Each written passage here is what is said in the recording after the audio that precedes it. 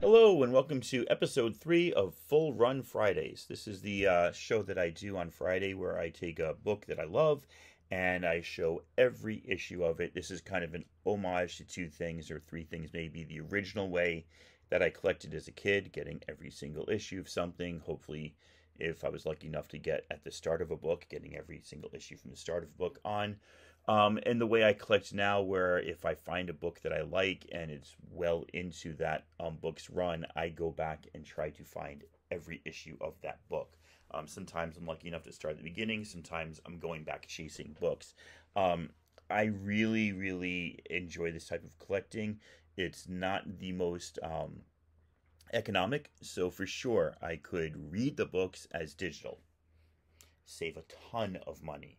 Uh, I could even get trade paperbacks, save a ton of money, and have an easier time reading, not worrying about floppy pages and stuff.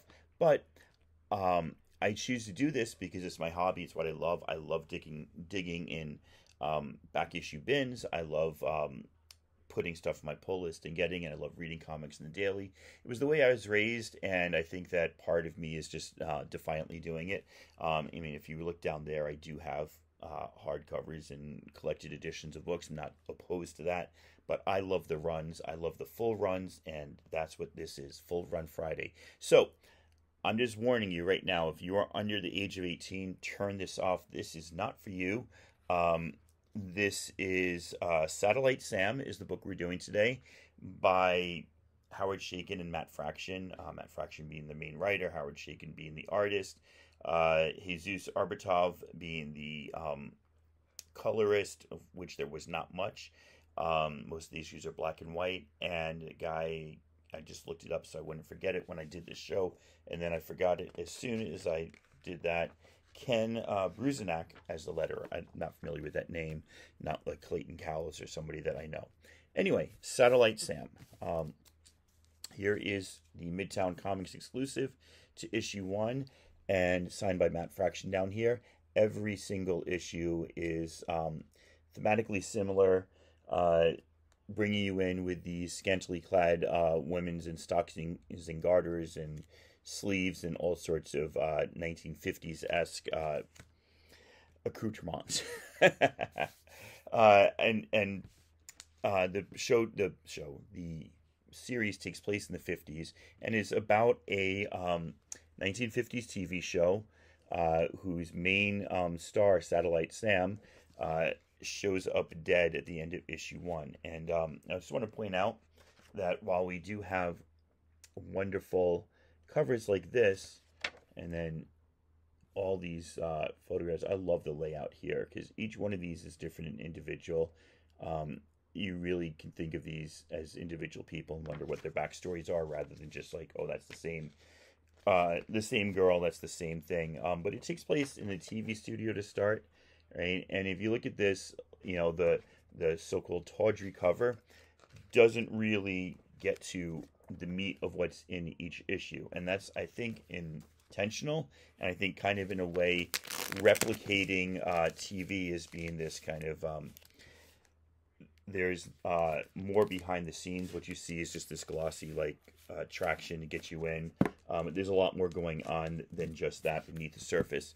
Uh, so this this um, star of the show turns up dead when his son, who's an alcoholic and um, and working on the show as an engineer, goes to his apartment to uh, find out what happened.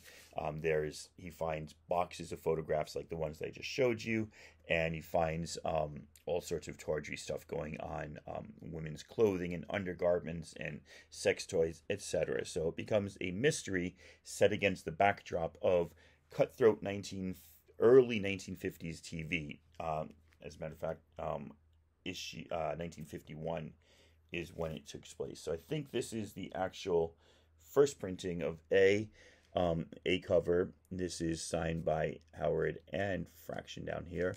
Um, this is the second printing.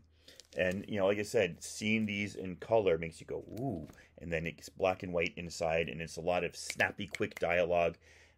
People speaking over each other, and Fraction handles it really well. It's very dialogue heavy, but he handles it really well with like the engineers and the executives and the sound people and the actors all talking at each other, all like trying to get their thing out, while also um, sort of caring about what happened to this guy's father, but not really, as long as the show goes on, sort of thing. So we got issue two and three here. Um, and you know, it, it, it's got some depictions, I should tell you, four and five. Uh, racist and, and homophobic language that fits in with the time for sure.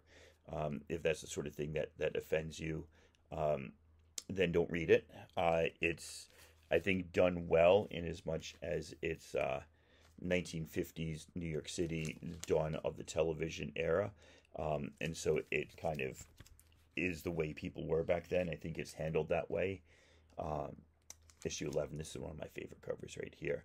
And it really is a good mystery. It, it brings you in, it gives you good backstories to all the side characters. Um, there's not a lot of throwaway to it. It uh, it's absorbing, and the covers are phenomenal. Uh, you say what you like about Howard Chaykin, and I know some people have said some things about him and meeting him recently. Uh, I think his artwork is phenomenal, and I think the series by Matt and Howard is phenomenal. So there you have it, Full Run Friday, Satellite Sam, produced by Image Comics, the 1950s, murder mystery with sex and violence in the backdrop of 1950s television. Give it a read if you like.